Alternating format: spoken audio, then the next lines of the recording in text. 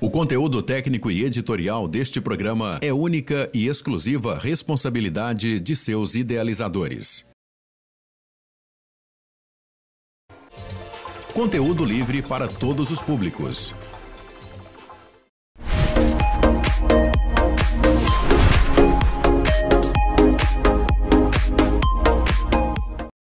Olá pessoal, tudo bem com vocês? É o programa da Tamires que está chegando mais uma vez para vocês e com muitas informações. Eu, o programa da Tamires é um programa de variedades, né? Mas o programa da Tamires sempre vai muito para a área da saúde. Isso que eu acho legal. E acho que Deus até colocou isso mesmo na minha vida, porque eu sou muito curiosa na área da saúde e eu gosto de entrevistar os profissionais da saúde. É uma forma também que eu tenho de apresentar né, uh, os profissionais da saúde e também a gente vai né, tirando todas as dúvidas. A gente é muito curioso também nessa parte. E hoje eu estou no Hospital UOPECAM, Hospital do Câncer Noroeste do Paraná, em Moarama, pra, porque nós chegamos em muitos outros países, também estados. Então eu estou na cidade de Moarama, no Paraná. Nós temos o Hospital do Câncer por aqui. Agora nós temos mais uma unidade na cidade de Medianeira, no Paraná, e a primeira unidade de Cascavel. Mas hoje eu vim no Hospital OPECAM para conversar com o cardiologista, Dr. Matheus Ribeiro Canamura. Ele veio de Londrina e eu estarei apresentando para vocês no dia de hoje. Na sequência, eu estive na Casa da Paz conversando com Silvia Ribeiro Martins, vice-presidente da Casa da Paz. Vamos lá conhecer um pouquinho e ver também as necessidades da Casa da Paz, que é uma casa que tem 106 crianças estudando e fazendo curso. Gente, é um espetáculo, é muito lindo. Eu admiro muito a Silvia Ribeiro Martins pelo trabalho que ela faz é, é, emocionante, é encantador. Ela podia, ela é aposentada, ela podia estar descansando, né, bem tranquila mesmo, mas não, ela tem essa tarefa que não é fácil. E eu admiro muito. Bom, eu vou para os comerciais e eu volto já já com o Dr. Matheus. Vamos saber um pouquinho dele, é um jovem médico. Abra uma poupança.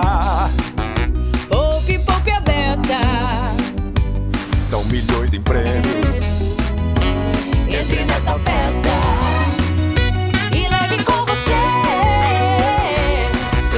mais louco. Concorra a milhões lindos no seu bolso. Promoção Poupança Premiada Sicredi. Traga sua poupança pro Sicredi e concorra a 2 milhões e meio em prêmios em dinheiro.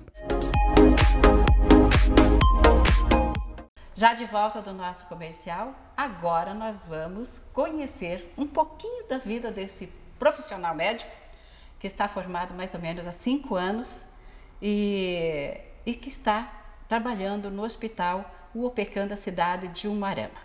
Dr. Matheus Ribeiro Canamura. Tudo bem com o senhor? Muito prazer, Tamires. Tudo excelente, graças a Deus. Prazer. Espero que você se sinta muito bem na nossa cidade e principalmente, é claro, no Hospital OPEC. Ah, muito obrigado. Já estou me sentindo em casa. Já? Já fui me acostumando com todo mundo aqui. É cidade muito acolhedora, né? É capital da amizade, então é fácil de se, é fácil, né? de se acostumar com a cidade, né? Verdade. Você está aqui há quantos dias? Eu estou aqui aproximadamente umas três semanas, mais ou menos. Né? Já, já conhecia mais ou menos a cidade, já estou trabalhando, né? Estamos atendendo ambulatório de SUS, né, é, convênio, é, pacientes particulares também, atendendo pacientes internados, né, enfim, todos os pacientes que precisam aqui de atendimento cardiológico na UPCAM, né. Que bom, você veio de Londrina. Vim de Londrina. Você Vim de é Londrina. londrinense, então? Na verdade, eu nasci em Goiôerê, acredita? É mesmo? Eu nasci em Goiôerê e fiquei 24 horas só lá. Meu pai, daí já tivemos alta do hospital, fui só para nascer. E já voltaram para Londrina. Então, nasci em Goiôerê mas, é, mas sou de Londrina, né? Morei a vida inteira em Londrina, praticamente. Aí cursei medicina no, na Cesumar, lá em Maringá. Uhum, né? Uma boa universidade. É, e já voltei, fiz residência de clínica médica, depois cardiologia, né? Em, em Arapongas, e daí finalizei minha, minha formação. Arapongas, sempre que a gente fala de Arapongas, a gente lembra assim que muitas pessoas que com problemas cardiológicos ia para a cidade de Arapongas ou para a cidade de Cascavel, coisa parecida. Uhum. Era isso, mais ou menos? Isso. Era um hospital que ele tinha um enfoque inicialmente mais oncológico também, igual o PK, e acabou virando um hospital cardiológico praticamente. Então, assim, eu fiz residência lá, né, peguei é, um costume muito grande de ver pacientes cardiológicos, depois fiz residência de cardiologia propriamente dita, né?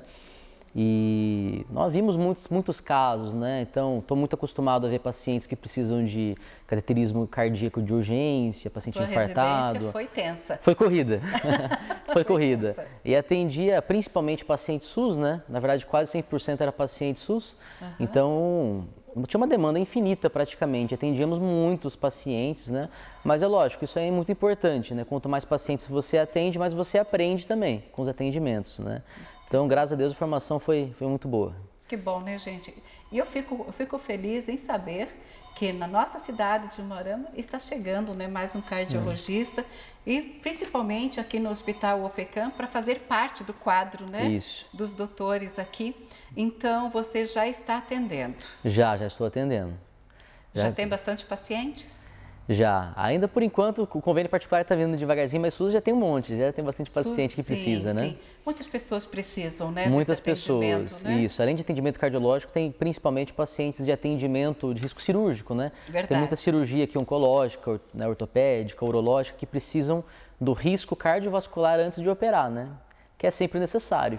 Verdade. Sempre necessário. Você é filho de oriental? Eu sou misturado, né? Metade japonês com português. Meu pai é descendente de, de japonês e minha mãe é descendente de, de português. Olha que então vira uma mistura. Eu já ia falar que podia ser o japonês com o italiano, porque dá uma mistura muito bonita. É. Dá, dá um bom resultado também. Mas é um belo médico. Oh, agradeço. Doutor, agora, por que que você escolheu a cardiologia? Podia escolher tantas outras profissões. Essa pergunta é boa. É, primeiro que assim, antes de querer medicina, eu tinha muito interesse em física. Quase fiz física. É sério? Por muito pouco. E acabou que eu mudei de ideia assim e fui mais pro lado da medicina, então sempre gostei muito de área exata. E o nosso coração é igual um motor de carro, ele é muito exato. Né? Não existe muito achômetro, subjetividade na cardiologia. Ou é ou não é, é tudo calculado. Né? É muito certinho. E, e a cardiologia dessas áreas todas da medicina, ela é uma, talvez seja a área mais exata de todas as nossas áreas. Né? Tem outras áreas que também são assim, mas a cardiologia é, é muito assim. Então, por exemplo, você está tratando um paciente que está hipertenso, com a frequência cardíaca aumentada, coração disparado, você dá uma medicação, você já espera o resultado X ali, sabe? Você já, já, já tem alguma coisa a esperar. Né? E tem áreas que é muito assim, vamos ver o que vai acontecer tal. Cardiologia não, é muito certinho. Isso sempre me atraiu na cardiologia. Além disso, meu pai também, ele teve, eu estava fazendo residência de clínica médica, que é um pré-requisito para você fazer cardiologia, né? Sim. Clínica médica, uma residência, né? E meu pai teve um, um infarto e isso mexeu comigo, né? E eu achei assim que fazia muita diferença o diagnóstico rápido do infarto. Né? Ele sobreviveu, graças a Deus, fez um cateterismo, lá ficou tudo certo, hoje está perfeito, muito bem, sabe? Não ficou com sequela, nada. Graças a Deus. Mas isso aí mostrou para mim a importância de você conseguir fazer um tratamento efetivo, um diagnóstico rápido, né? A diferença de um profissional capacitado na cardiologia e me atraiu ainda mais. Eu achei desafiador você ter pouco tempo para decidir, para interpretar um exame, mostrar que realmente o paciente está infartando, decidir que o paciente precisa de um cateterismo de urgência. Então, isso aí me atraiu demais na cardiologia. Depois que eu vi é, esse quadro do meu pai, eu falei: ah, não, preciso fazer cardiologia, preciso trazer esse benefício para outras pessoas, me especializar me capacitar para isso, né? Então isso sempre me trouxe interesse. Daí eu fiz residência de cardiologia e graças a Deus estamos aí. Tem mais alguém na médico jornada. Na, na, na, família ou não? Temos, temos, temos. Mas nenhum na área da cardiologia. Né? Eu tenho um tio que é ginecologista, um outro tio que é pediatra, uma tia que é oftalmologista, tá uma tia que é fisiatra, né? Tem bastante gente ali, né? Bastante gente. Mas cardiologia acho que ninguém, ninguém se interessou, só eu mesmo. Verdade. Doutor, já que nós estávamos falando até do, do seu pai, né, que, que infartou, é claro que quando uma pessoa tem problemas de infarto, alguma coisa assim, é, o tempo é vida, né? Então, uhum. quanto mais rápido você socorrer a pessoa, é lógico que você consegue fazer alguma coisa. Com certeza. Né? Com certeza. E Agora, vamos falar, eu, até eu estava comentando com ele, nós estávamos conversando em off, mas eu achei muito interessante a explicação do Dr. Matheus a respeito de dor de cabeça, caminhada, pessoal que faz academia, é, pessoa que, vamos imaginar, o Dr. Matheus, ele só tem tempo de dormir no máximo 5 horas.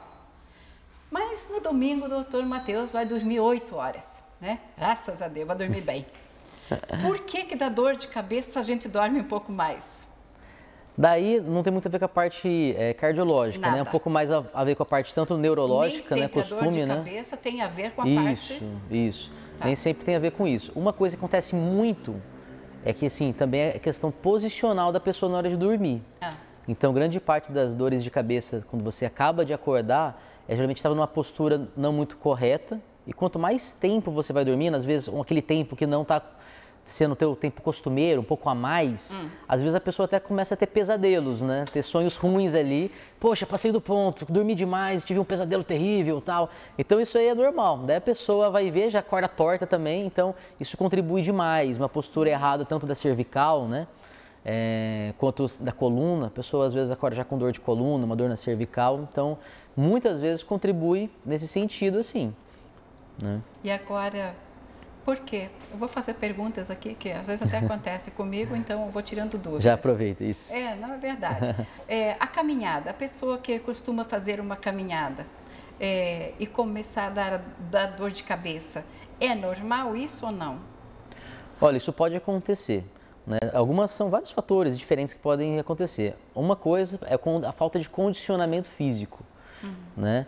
Nós temos uma, uma elevação da pressão arterial, nossa pressão vai subir até de maneira fisiológica, é até esperado que a pressão suba durante o exercício físico. Por motivo do esforço, lógico. Isso, o nosso coração ele vai bombear mais sangue porque o músculo está precisando de mais energia, de mais sangue para ele poder funcionar e contrair mais. Então a pessoa está precisando de mais energia. O coração, obviamente, vai mandar esse sangue oxigenado numa frequência mais, mais acelerada, né? uma demanda maior. Isso aí vai subir a pressão do paciente, né? vai subir a pressão naturalmente do paciente. E às vezes você não está acostumada com essa pressão que vai subir. Hum, te assusta. Te assusta. Até, por exemplo, estava comentando com ela, o Zen Bolt, se for medir a pressão arterial dele logo depois que ele corre 100 metros, vai estar elevada. Ele é hipertenso? Não. Na verdade, ele precisou subir essa pressão arterial para poder ter força suficiente para praticar o exercício físico que ele estava realizando. Né? Então, assim, nós temos que ter essa consciência. E outro ponto também diferente, lógico, é o paciente que já é hipertenso e que ele vai praticar uma atividade física e a pressão dele sobe de maneira muito exacerbada. Isso pode acontecer também, né? Além do fato, igual eu comentei, do, do preparo físico, essa parte muscular, do despreparo, né, condicionamento físico, que também pode gerar dor de cabeça também, né? Lembrando que a, a dor de cabeça da pressão, da pressão alta vai ser aquela dor na nuca que a gente vai esperar. Nem sempre vai aparecer, tá? Mas nem sempre vai aparecer. Mas é verdade, tem que cuidar muito com isso, né? Doutor, é... a tua relação com o paciente, uhum. como que é? Olha, eu costumo ser muito assim, é objetivo com o paciente, sim, direto. Sempre falando a verdade. Sempre falando a verdade, porque a gente não pode esconder e minimizar um problema cardiológico, que é uma geralmente de uma doença é, rápida. Tanto a parte assim, por exemplo, de alguma complicação, de uma descompensação cardíaca, quanto a parte até do benefício do paciente melhorar, é tudo rápido. O paciente melhora rápido e pode piorar rápido. Então ele tem que estar muito bem ciente. A gente tem que ser muito sincero nessa relação. E outra coisa é a questão da empatia, né? Que a gente sempre tem que trabalhar. Se você não conseguir se conectar muito bem com o paciente, como se ele fosse um, um colega, um amigo, né? É, muitas vezes ele vai deixar de te trazer informações e não vai aderir muito bem ao tratamento. Hum, né? Começar a esconder informações é, do médico. Não vai seguir as orientações. Se ele não, não te enxergar com confiança, né, com empatia, não tiver aquela conexão, às vezes não vai respeitar algum comentário que você vai fazer para ele parar de beber, para parar de fumar. Uhum. Às vezes fala, poxa, que médico chato, né? Então a gente tem que ter uma, uma relação boa com o paciente. Ao mesmo tempo, você tem que mostrar que você tem autoridade ali, né? E você tem a competência porque você estudou muito, trabalhou muito e você está falando que tem que tomar um remédio tal, uma orientação de exercício, de alimentação tal, porque você estudou. Né? Então você não pode ser aquela coisa, ai, vamos decidir juntos, né? Então a gente tem que, tem que mostrar que a gente realmente tem aquele conhecimento que pode ajudá-lo, né? Então, ao mesmo tempo que a gente tem essa conexão, essa amizade, a gente tem que realmente trazer e ditar realmente o que a gente precisa que o paciente faça, tanto de medicação quanto muitas vezes a mudança de hábitos de vida, né? É. Que precisa, precisa, dos dois, né? Claro, Tanto a medicação quanto às vezes parar de fumar, óbvio, né? Parar de fumar, pelo amor de Deus, é, é uma coisa que precisa acontecer. Que nem deveria né? ter começado. Nem deveria ter começado. é, atividade física são coisas, lógico, que precisam estar alinhadas. Né? Então, para que o paciente ele siga bem isso aí, você tem que ter uma relação muito boa né, com ele, né? muito próxima. Verdade. Qual que, é, qual que é mais fácil você atender, um homem ou uma mulher? Quem mulher. Que, a mulher. mulher é mais obediente? mulher é mais obediente, procura mais, mesmo não precisando. E o homem precisa mais e procura menos o médico. Aquele negócio, o marido fala, você tem uma mania de médico, mulher? Pelo amor de Deus, para que procurar tanto médico? Mas, daí com tudo isso, se diz que morrem mais homens do que mulheres. Isso, isso. Porque isso. as mulheres procuram mais os médicos, isso, o atendimento, sim, né? Sim. Qualquer coisa de anormal, ah, já ela procura, já procura. Já vai procurar. Não só procurar, mas ela, ela é obediente em relação às, às orientações. Tudo. Porque ela sabe que vai trazer benefício para ela. Sim. E ela é obediente, ela é regrada, né?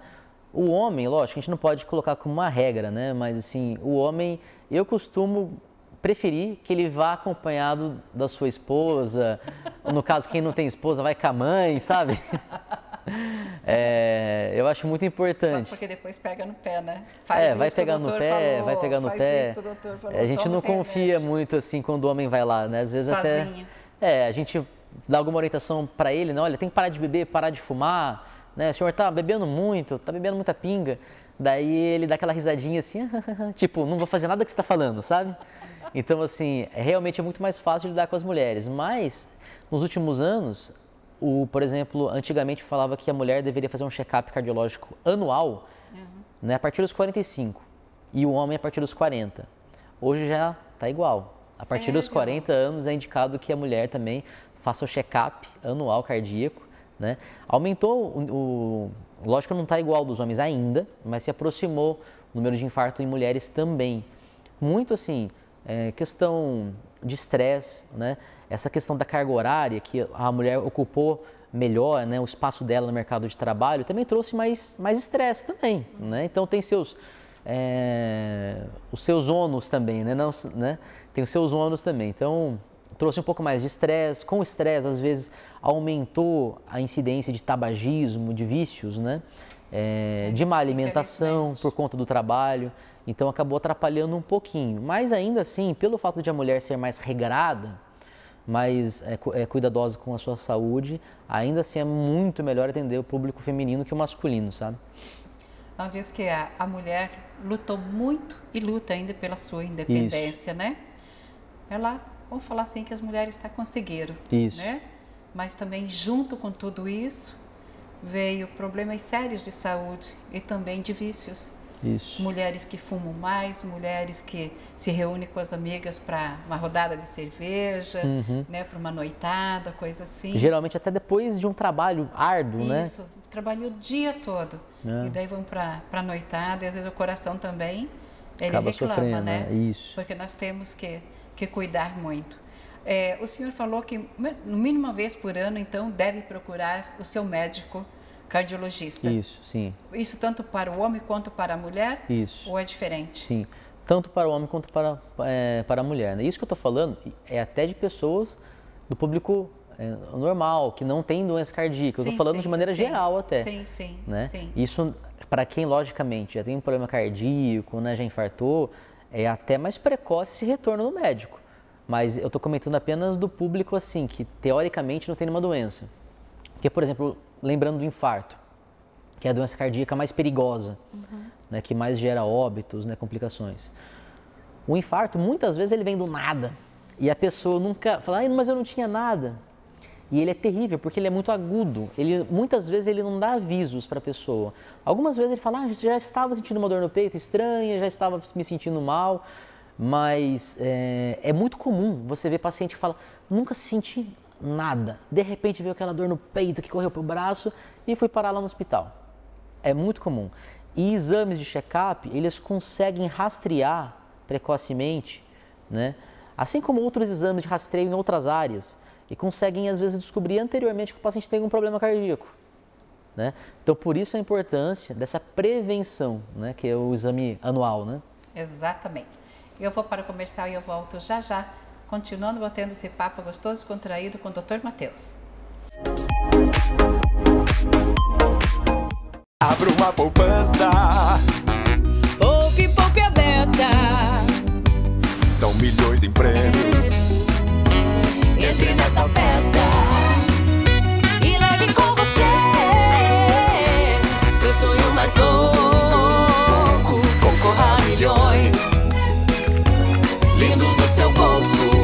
Promoção Poupança Premiada Sicredi. Traga sua poupança pro Sicredi e concorra a 2 milhões e meio em prêmios em dinheiro. Já de volta do nosso comercial, vamos continuar aqui no bate-papo então com o Dr. Matheus. Eu estava conversando até com o Dr. Matheus que com, com o Covid, é, é o que a gente ouve falar, não sei se é verdade, o Dr. Matheus vai responder para a gente, que com o Covid, com a passagem do Covid, essa pandemia, é, muitas pessoas passaram a ter problemas sérios coração. É verdade, doutor? É verdade, é verdade. Muitas vezes o Covid ele gerou um problema, igual você falou, crônico, que ficou com a pessoa, continuou com a pessoa, e na maioria das vezes, na verdade, eram alterações passageiras, passageiras, sim, né? Sim. Citando os problemas, né? no caso da miocardite. Miocardite é uma inflamação do coração, do músculo do coração, oriundo do Covid.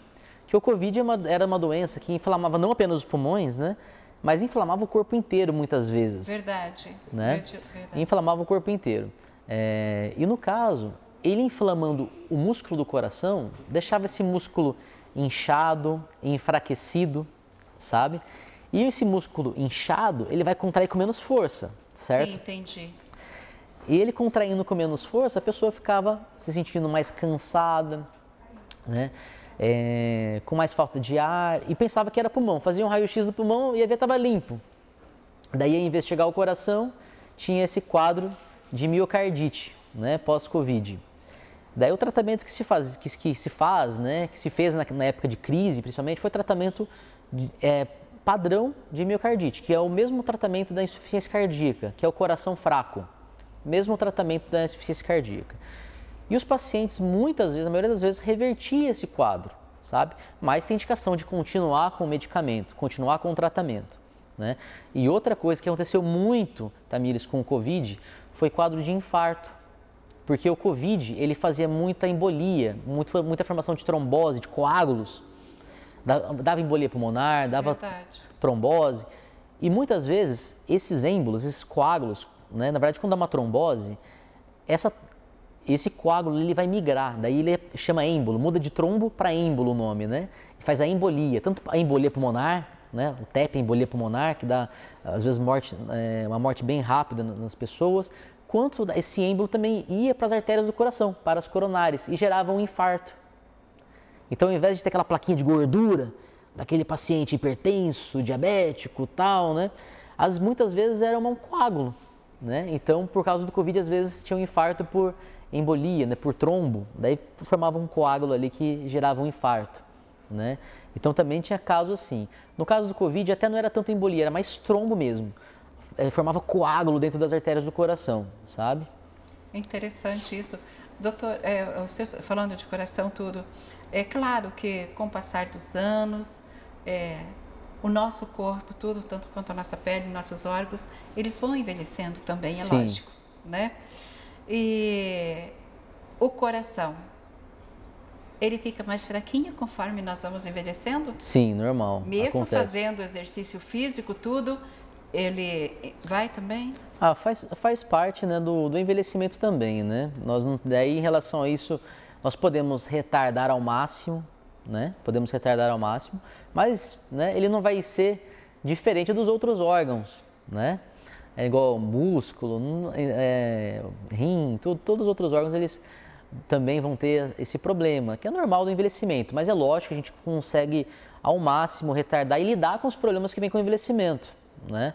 Então, por exemplo, as nossas artérias também, elas ficam mais duras com a idade, mais calcificadas. Rígidas. Elas vão ficar rígidas. E muitas vezes é, vai subir a pressão mesmo, né? A gente vai iniciar medicamentos para pressão, tudo, mas é normal que a pressão seja mais alta mesmo.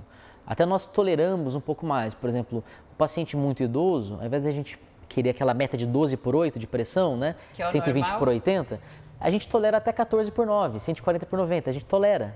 Porque é esperado que vá subir essa pressão mesmo. Né? Nós não podemos é, querer ou ter uma esperança de uma coisa que não vai acontecer, porque faz parte do envelhecimento natural mesmo do ser humano, né? Então, é lógico que, que é normal o envelhecimento deixar o coração um pouco mais fraco, mas a gente sempre vai combater, né? Esse envelhecimento, né? Mesmo sendo natural, a gente vai fazer o máximo para que a pessoa tenha qualidade de vida, o máximo de expectativa de vida. Verdade. A minha mãe tem 83 anos, daí ela tá com uma dorzinha no peito, ela fala assim, meu coração tá doendo hoje. Coração dói assim, uma coisa normal, que não tenha problemas cardiológicos. Não. Mas O, o coração não dói. Não, não, não é normal. Não é é normal. normal. É, Mas acha que tá doendo, mas talvez não pode ser que Pode não ser o coração, né? Pode, pode ser que não, não seja o coração, né? Então, assim, o coração, é, ele vai ter uma dor, muitas vezes, específica, né? Por exemplo, dor de infarto. Aquela dor retroesternal atrás do osso, do externo aqui, do Sim. osso externo, aquela dor forte, o dor do lado do peito, do lado esquerdo, precordial que a gente chama, né? Correndo para o braço, correndo para a mandíbula, para a cervical, para as já é costas. uma outra situação. Daí, então, daí é uma dor muito típica de infarto. Daí é uma dor típica, certo? É, é uma dor que vai piorar com exercício, é uma dor que ela vai melhorar quando você fica quietinho em repouso, certo? Então essa é uma dor muito típica. Mas existem dores que não são típicas, principalmente em mulheres, em diabéticos e idosos. São dores atípicas, por exemplo, de infarto ou de angina, né? no caso que a gente chama de a pessoa que tem uma dor crônica, mais de dois meses, a mesma dor, que não piora, com o mesmo padrão de dor no peito, que, chata. que é do coração mesmo. Daí, no caso, gente que tem plaquinha no coração, mas muito antiga e não mudou nada, está sendo bem medicado, a gente chama de angina estável, porque o quadro, angina é dor no peito, né? Quadro estável, o quadro está estável. Quando a pessoa tem essa alteração, né, não chega a ser infarto, mas está piorando a dor, mudou o tipo de dor nesse, em menos de dois meses. Já é uma dor diferente, está piorando, a pessoa está começando a se sentir mais, mais cansada, né, uma dor mais prolongada, não está melhorando quando fica parado, está começando a ficar um pouco pior. A gente já chama de angina instável, ou seja, aquela plaquinha está ficando instável, está tá crescendo, está tá tendo alterações naquela placa a plaquinha de gordura nas artérias do coração. E o infarto, propriamente dito, é quando já fecha mesmo aquela artéria do coração e a pessoa sente uma dor muito grande. Muitas vezes fala que é a pior, uma das piores dores da vida, uma dor terrível, né? E daí procura o serviço de urgência. Mas é bom sempre lembrar, Tamires, que o idoso o diabético e as mulheres podem ter dores diferentes. Eu ia te perguntar isso. Às vezes dor no estômago. Às vezes fala, poxa, o médico estava com dor no estômago, fui lá, fui lá para o hospital e o médico pediu exames de sangue para ver se eu não estava infartando. Realmente, tem exames de sangue que mostram que, que a pessoa esteja infartando. É mesmo? Dá para Sim. fazer um exame de sangue então para saber como que está? Isso, isso. E muitas vezes a mulher, o idoso, está com uma dor no estômago lá e está sendo infarto. Ou outras vezes está com falta de ar, não está nem com dor, está com falta de ar. Vai ver que está infartando. Tem aquele paciente que chega lá no médico, faz os seus exames. Você sabia que você já infartou? Pois é, pois é. Então nós temos que ficar muito atentos. Nem sempre o, diagnóstico de infarto é fácil. Tem vezes que o paciente ele só falta falar, doutor, estou infartando. Às vezes ele, o paciente fala para você, já sabe, né? Aquela dor muito clássica. Mas muitas vezes não é assim. Muitas vezes a pessoa não vai ter essa mesma queixa. Às vezes vai sentir só uma dormência no braço. Vai ver que está infartando. Então é muito importante que na dúvida da dor no peito, né, da- do infarto, faça exames. Dê atenção para essas Sim, dores. tem que dar atenção. Ai, mas será que é ansiedade? Pode ser, mas vamos excluir o infarto primeiro? Vamos ter certeza que não é infarto? É, exatamente. Não custa. Vamos lá, vamos ter certeza. Vamos fazer os exames. Beleza, ó, não, tranquilo, o coração está tranquilo, perfeito. Daí vamos, daí vamos investigar se é ansiedade ou se é uma outra doença. Vamos, vamos excluir, vamos ter certeza que não é aquilo que pode te, te, te matar. É. Né? Então a gente tem que ter muito cuidado em relação a isso. Né? Avanços na cardiologia, doutor. Você é um médico bem jovem, né? O que, que você pode falar para a gente dos avanços? Porque a tecnologia avançou praticamente em todas as áreas. Isso. Na área da cardiologia, o que, que nós temos de novidade?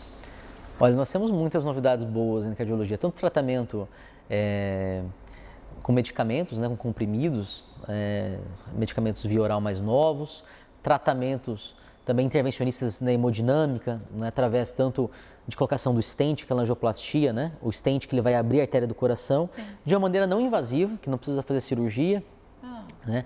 Sabia que às vezes a gente pode até trocar a válvula do paciente agora, que antigamente era com cirurgia aberta, né, abrindo o peito, ah.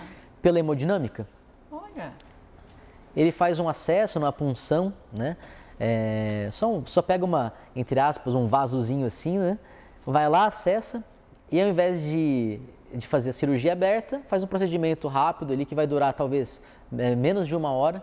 Às vezes troca a válvula do paciente, válvula aórtica, às vezes a, a mitral, são próteses que se colocam. Né? Então são avanços incríveis, né? Nossa, Também da parte de medicamentos, né? antigamente o paciente que tinha um coração com uma contratilidade diminuída, um coração mais fraco, muitas vezes esse paciente não tinha medicamentos que melhorassem tanto a qualidade de vida dele ou a sobrevida dele. Hoje em dia nós temos medicamentos que às vezes o paciente chega ali, a função do coração, a contratilidade muito diminuída, né? A função do coração contrátil muito baixa, sabe? Que muita, antigamente eles iriam colocar esse paciente na fila de transplante e já iam, é, o médico já ia falar para a família que não ia ter mais jeito, que ia viver pouco tempo, no máximo um ano. Hoje em dia não, hoje em dia nós temos pacientes assim que vivem muitos anos. Tudo com um medicamento adequado, né, com medicamentos bons. Né? Então, bem modernizado. Bem então. modernizado, bem modernizado. É, existem outros exames, igual angiotomografia de coronárias, que é um exame igual do cateterismo, é, que vai mostrar a anatomia do coração tanto por dentro, mas principalmente, né, assim como está a anatomia dos vasos do coração, das coronárias. Se tem alguma artéria entupida, se tem alguma placa de gordura, ele, vai, ele consegue dar uma noção muito boa. Né? Logicamente que o padrão ouro ainda, ainda é o cateterismo cardíaco que joga o contraste, né? Que você consegue ver certinho se os vasos têm plaquinha de gordura ali, está entupido. Indispensável, é indispensável.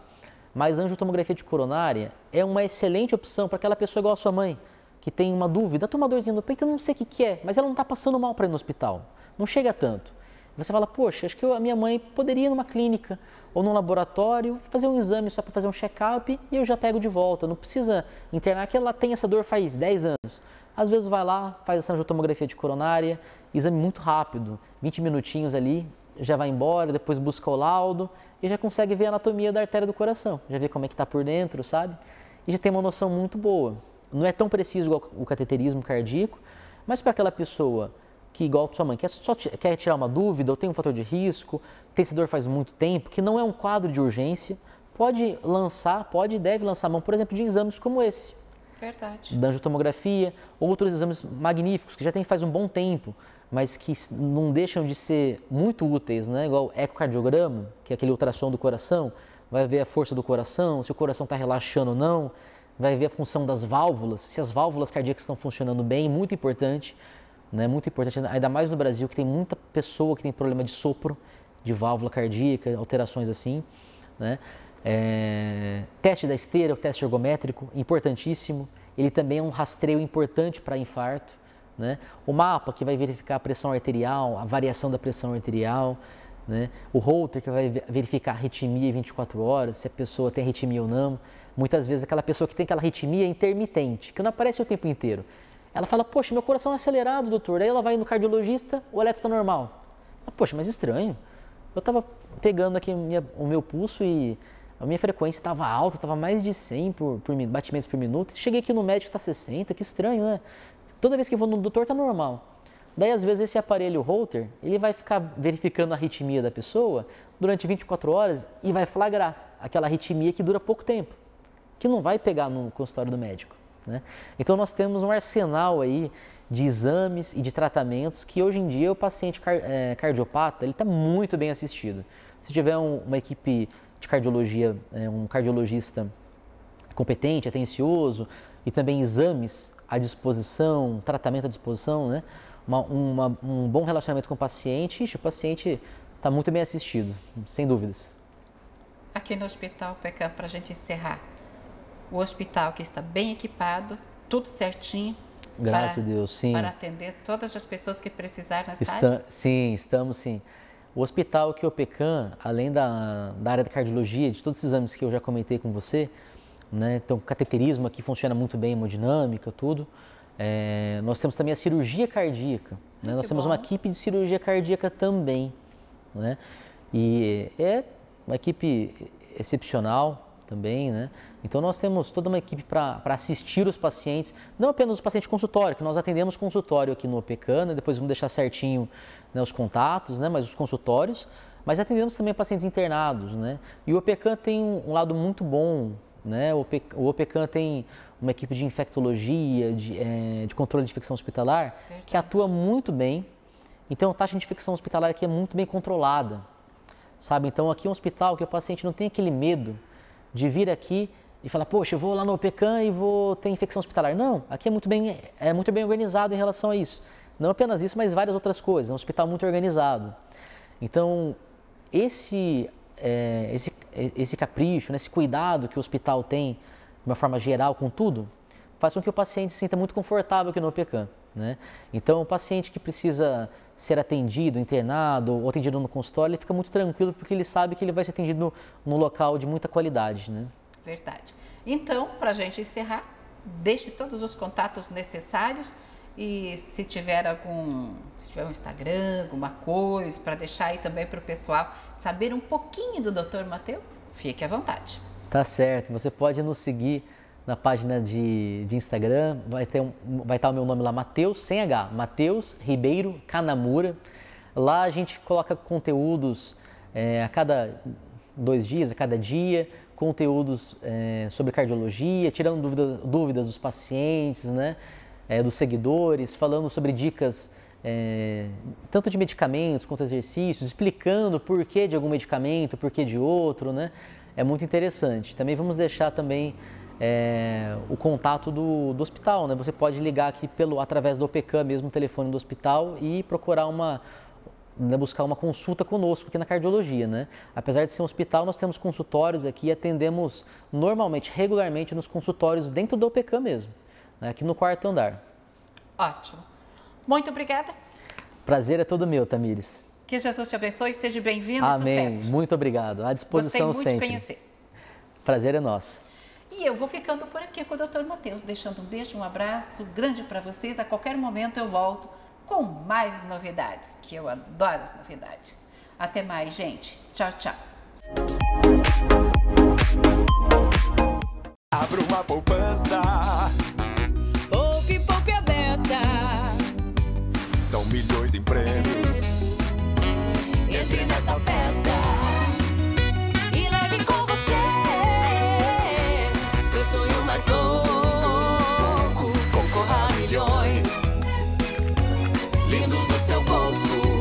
Promoção Poupança Premiada Sicredi. Traga sua poupança pro Sicredi e concorra a 2 milhões e meio em prêmios em dinheiro.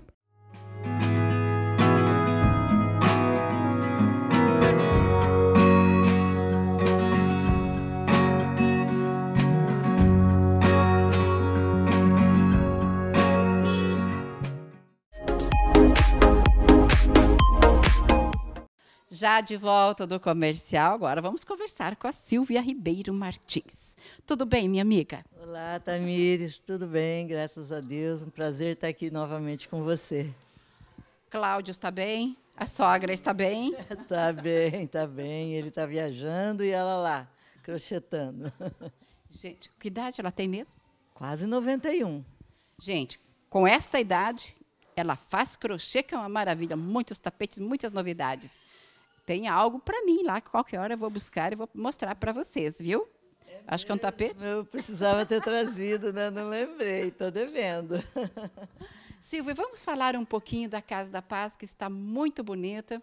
Aqui tem muitas crianças. Vamos falar de quantas crianças hoje a Casa da Paz né, está comportando. É, e eu fiquei sabendo que talvez, talvez aí, né, estão aí no, em estudos que a Casa da Paz, a Silvia, venha participar também da ponta de estoque que acontece agora neste mês. É, sim, pela primeira vez, né, que nós vamos, estamos pleiteando, planejando, eu acredito que vai dar certo de nós estarmos participando pela primeira vez da ponta de estoque. E nós temos muito estoque para levar para lá, muita novidade, muita coisa bonita e super barato. O que seria? Que, que produtos você pensa em levar para a ponta do estoque?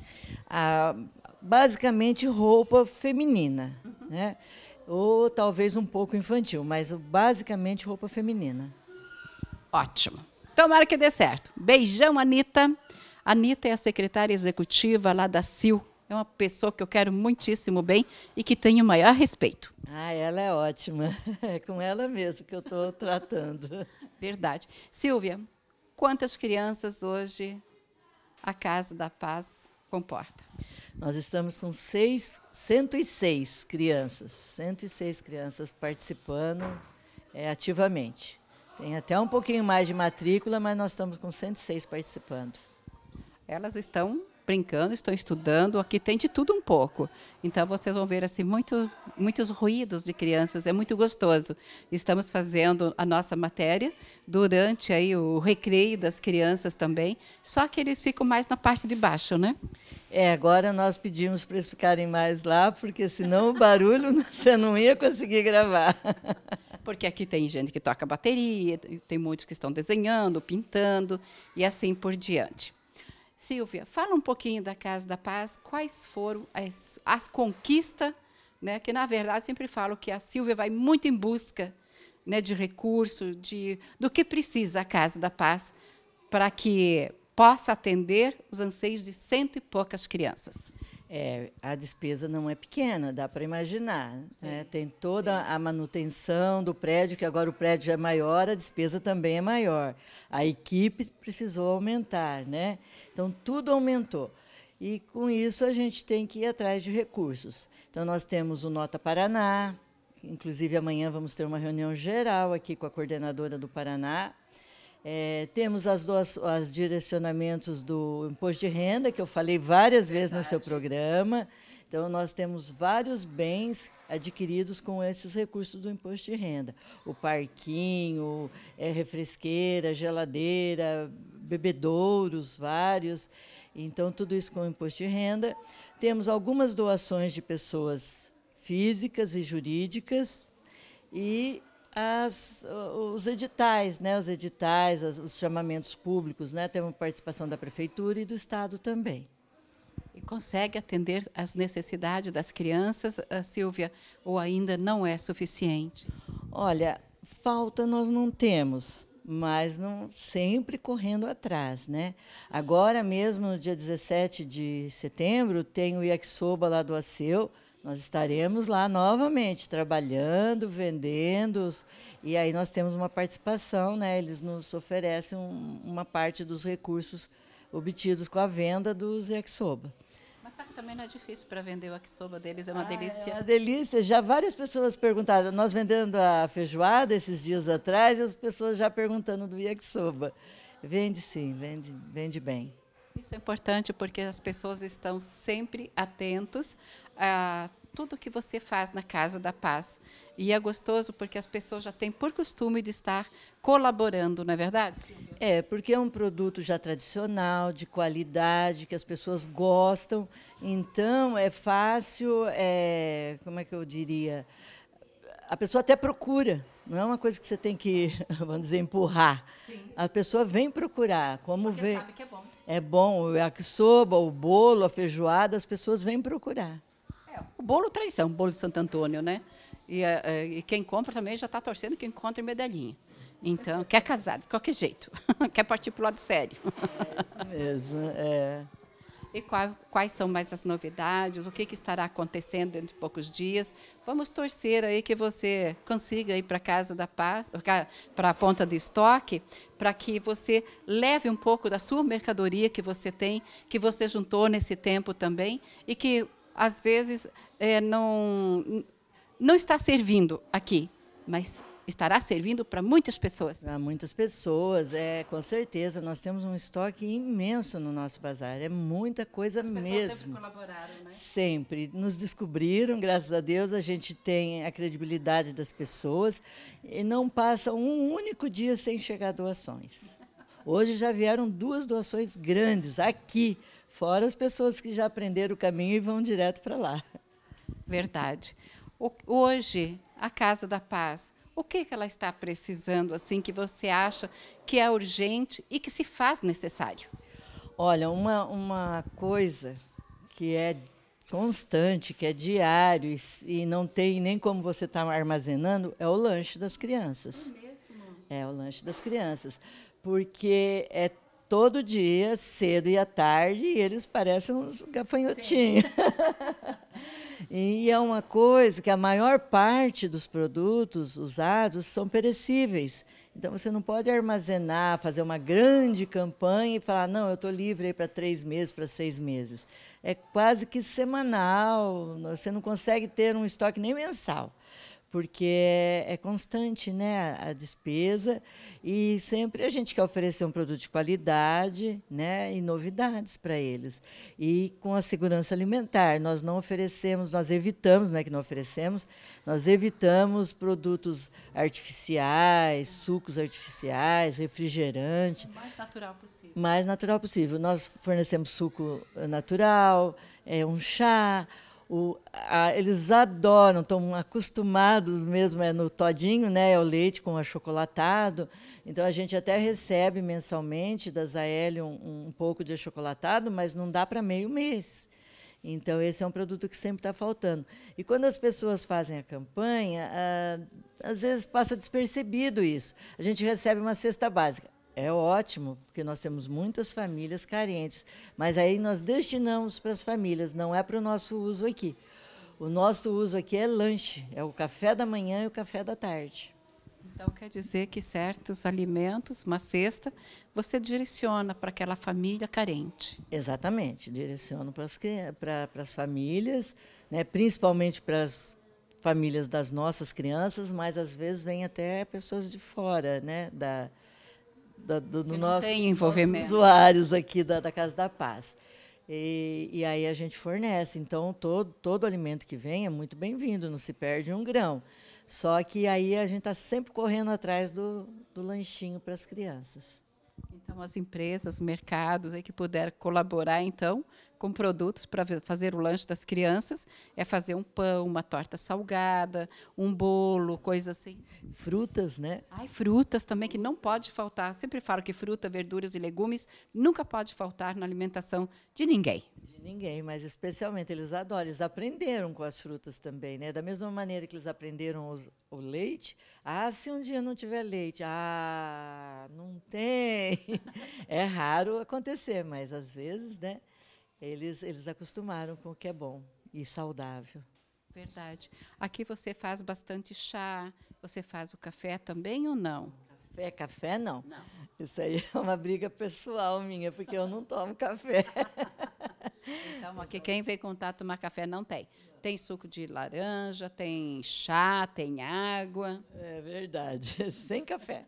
Nem com leite. Você não toma café, Silvia? Nem bala. Se for de café, eu não quero. Por isso que eu te ofereci bala um dia no estúdio e você não quis bala de café. Ah, não, Agora eu descobri. Não, café não, desde de pequenininha. Acho que tinha uns 4, 5 anos quando eu parei de tomar café para nunca mais. Invejável. É bom isso, né? Eu não, eu não consigo ficar sem o café, né? Eu tomo café. E sou cafezeira. Silvia, algo mais que você queira deixar aí para o nosso público a respeito da Casa da Paz, administração, é, como é que estão os, o, as pessoas que estão colaborando com a Casa da Paz, voluntários ou coisa parecida? É, nós temos alguns colaboradores assim fixos, né, mensais, tanto com uma, uma colaboração em dinheiro, como alguns bens mesmo, né? Tem um, um por exemplo, uma lo, um a loja de, de é loja que fala, de produtos de alimentos. Então ele traz uma peça de presunto, uma peça de, de queijo, queijo, ajuda muito, né? Então nós temos algumas pessoas que colaboram assim firme com a gente. mas é que é bastante criança, né? E a gente tá com, com aquele plano lá do Marias da Paz, aquela expansão para culinária. Então, aquele macarrão, eu acho que alguma vez eu até falei do macarrão caseiro, né? Aí teve uma paradinha aí, porque teve a virada do ano, logo depois o bolo, depois a feijoada, mas nós retomamos. Toda quarta-feira, depois, a partir das três horas, já tem. Toda quarta-feira, à tarde. Bom, essa matéria está indo para o ar na sexta-feira. Então, quer dizer que na quarta-feira da semana que vem eles podem vir buscar macarrão? Podem, pode entrar em contato, pode vir buscar na quinta de manhã, né? Porque eles fazem no período da tarde. Começa às 13, 13 e pouquinho. Então, 15 horas já tem, se alguém quiser pegar ali fresquinho mesmo. Mas na quinta de manhã ainda está bom. E depois disso nós temos também, só que daí já é congelado, né? Mas no dia, até quinta-feira ali, é bem fresquinho mesmo, feito na hora. Vamos deixar o contato, já que você falou do macarrão. Ah, sim, com certeza. É 999-76-0543. Esse é o WhatsApp da Casa da Paz e 998-02-7102, que é o meu. Então, pode pedir a qualquer momento, reservar, né, deixar no jeito. A gente já faz, às vezes, até uma quantidade maior, dependendo da procura. Que bonito, né? Que bacana. Sempre fazendo algo diferente para arrecadar fundos para a manutenção da Casa da Paz, para manter essas 106 crianças que estão aí. Há tão pouco tempo, ela tinha 70, 80 crianças, mas vieram, sempre vêm duas hoje, duas amanhã, e quando vê, e, e vai continuar vindo. Ou você parou agora nas 106? Não, é assim, no período da manhã é mais tranquilo. Então a gente aceita matrículas ainda, apesar de já ter passado a nossa meta, que é de 100, mas no período da manhã a gente ainda consegue. À tarde é mais complicadinho, porque a turma está bem grande. Mas dependendo do caso, às vezes tem um irmãozinho que vem de manhã, você vai, não, não vai pegar o da tarde? acaba tendo que pegar, né? Mas à tarde já está bem cheio. Agora de manhã ainda tem vaga. Algo mais que você queira deixar para o pessoal de casa? Então, aí já, já oferecemos né, o nosso produto aí de toda quarta-feira com as Marias da Paz e convidando a todos para vir aqui conhecer, conhecer nosso trabalho, conhecer nosso espaço. Né? Brevemente a gente vai já ter uma, começando aí a nova construção ao lado. Então, Está todo mundo convidado para estar aqui. Essa é a tua luta agora. Essa é a próxima etapa. Que Deus abençoe a sua vida, bom trabalho e que Deus te dê muita energia, né? Disposição, saúde, claro, para continuar aí nessa caminhada.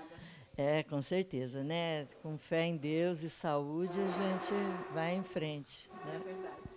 Muito obrigada, que Deus abençoe. Amém, todos nós. Abra uma poupança. Poupe, poupe a beça. São milhões em prêmios. Entre nessa festa. Sonho mais louco. Concorra a milhões. Lindos no seu bolso. Promoção Poupança Premiada Sicredi. Traga sua poupança pro Sicredi e concorra a 2 milhões e meio em prêmios em dinheiro. Pessoal, hoje nós vamos fazer o nosso creme suíço é, um pouco diferente. Então, vai um litro de leite, tá? Não liga ainda. Duas gemas, ok? Separe as claras uma caixinha de leite condensado, duas colheres bem cheias de amido de milho, para guarnição. Para guarnição, nós vamos usar abacaxi. Só que eu vou usar o abacaxi enlatado, por quê? Eu tenho muito medo da acidez do inatura. Tem que cozinhar no açúcar e tudo mais, daí demora. Então, estarei usando abacaxi em lata, em conserva, né? E para jogar em cima dos abacaxis, guarnição, vamos colocar umas nozes.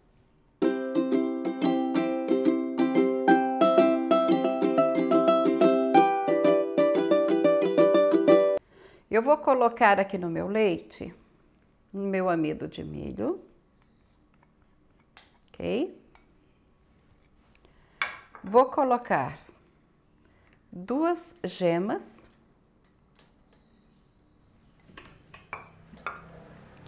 E vou colocar meu leite condensado. Não está ligado ainda, ok? Agora nós vamos ligar. Eu não vou colocar baunilha, vocês podem colocar umas gotinhas de baunilha. Então, ah, vai o creme de leite aqui também, ok? Depois, quando o creme estiver prontinho, para aveludar o nosso creme, eu vou colocar creme de leite. Então, eu coloquei o leite na panela e já coloquei todos os ingredientes. Coloquei o amido, coloquei as gemas, coloquei o leite condensado.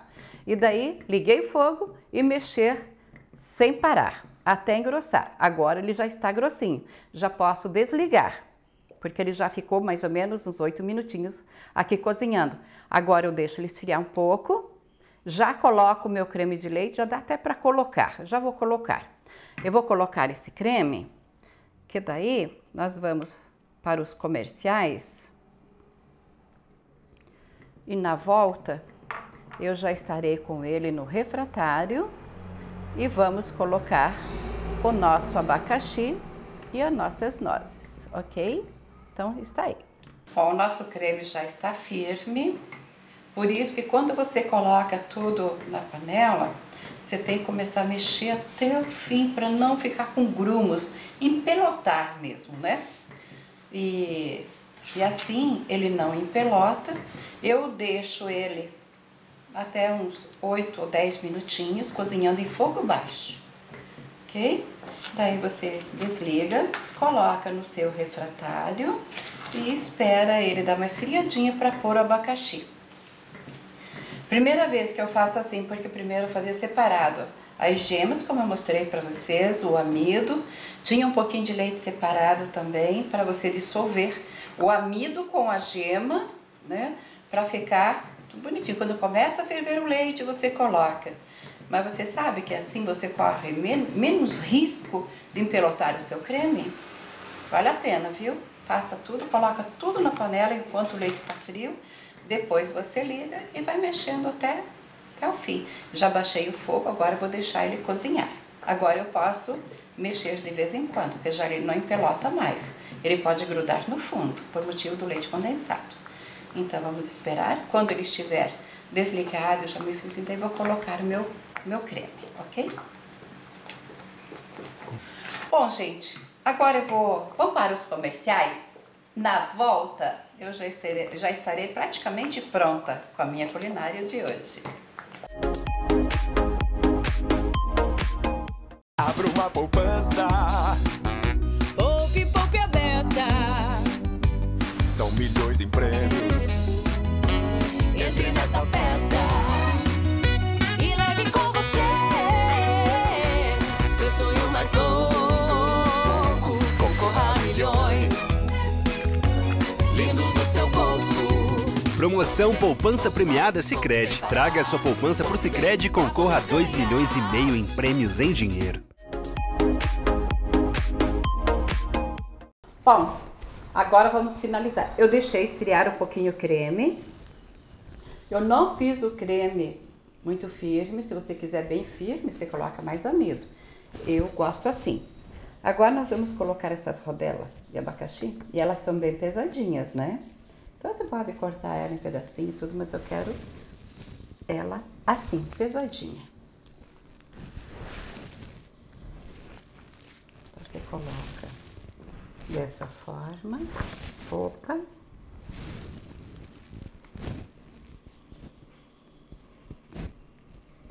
Não. Outra aqui. E a outra aqui. Olha que bonito que fica. Tá show, né? E eu, como eu sou apaixonada por nozes, colocar umas nozes aqui. Amo nozes. Eu acho que é tudo de bom.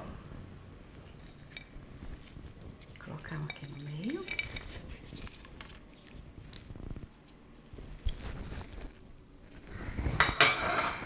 Aqui está a nossa dica de hoje para vocês. Meu creme suíço com abacaxi e nozes. É uma delícia. Ó, o creme ainda está quente e eu gosto bem geladinho. Então, hoje eu não vou experimentar. Aí está mais uma dica do programa da Tamires para vocês. E lembrando, nós estamos lá no YouTube, lá no meu canal, Programa da Tamires. Tudo o que acontece no programa da Tamires, todas as minhas culinárias, todas as minhas entrevistas, tudo que a gente faz, tudo está lá no YouTube para você apreciar, ok? Curta o nosso trabalho, dê um joinha, inscrevam-se e eu ficarei muito agradecida. Então aí está a dica de hoje.